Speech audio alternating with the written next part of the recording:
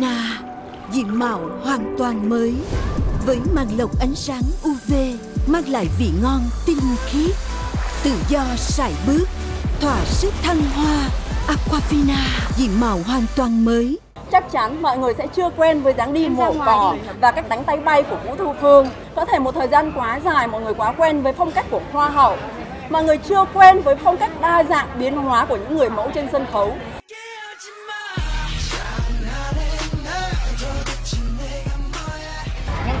Trái chiều trên các diễn đàn cũng có nhắc tới chuyện nhiều thì chị có buồn không chị Phương đã từng trải qua quá nhiều thông tin trái chiều.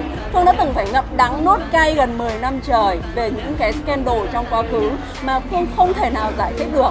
Bởi vì bất cứ một lời giải thích nào đôi khi nó sẽ mang một cái hàm ý nó chỉ là bao biện và giải thích mà thôi. Có thể một thời gian quá dài, mọi người quá quen với phong cách của hoa hậu mà người chưa quen với phong cách đa dạng biến hóa của những người mẫu trên sân khấu chắc chắn mọi người sẽ chưa quen với dáng đi mổ cỏ và cách đánh tay bay của Vũ Thu Phương. Nhưng cái gì cũng sẽ có những lần đầu tiên những phong cách riêng biệt của những người nghệ sĩ trình diễn. Và sự quay lại của Vũ Thu Phương cũng chưa nhiều. Thế nên là mọi người mới chỉ nhìn thấy một vài cái trình diễn của Phương mà thôi.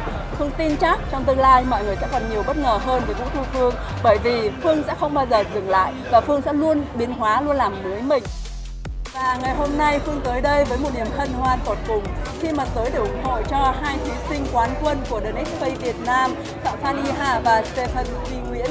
Họ sẽ trình diễn First Face ngày hôm nay và Phương đang rất là mong chờ điều đó.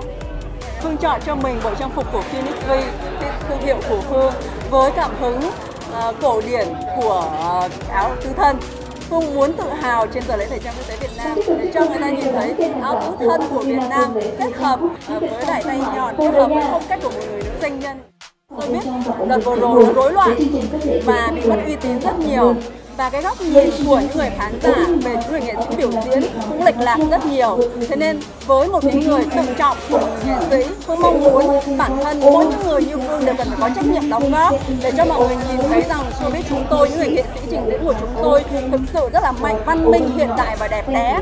Còn con sâu không, cũng có thể làm rầu nồi canh, nhưng nó không phải là tất cả. Và bản thân chúng tôi vẫn đang nỗ lực từng ngày. Bản thân phương cũng thế. Phương bước ra khỏi vòng an toàn của mình để quay trở lại với showbiz, để mong muốn Vâng, cống hiến cho nghề, cống hiến cho nghệ thuật, cống hiến cho khán giả. Để khán giả thực sự hiểu được rằng là chúng tôi, những người nghệ sĩ đã phải hy sinh, đã phải cố gắng như thế nào để có những giây phút thăng hoa trên sân khấu.